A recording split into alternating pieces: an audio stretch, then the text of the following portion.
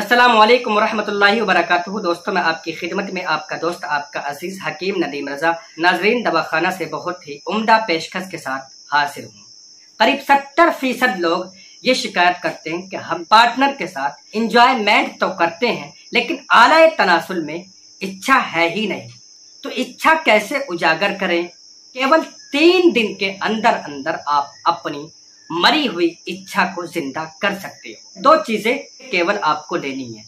Number एक आपको लेना है खोलिन जान। दूसरी चीज़ आपको लेना है सौठ। तो 30-30 ग्राम दोनों आइटम आप लेकर के इनका पाउडर बना लें।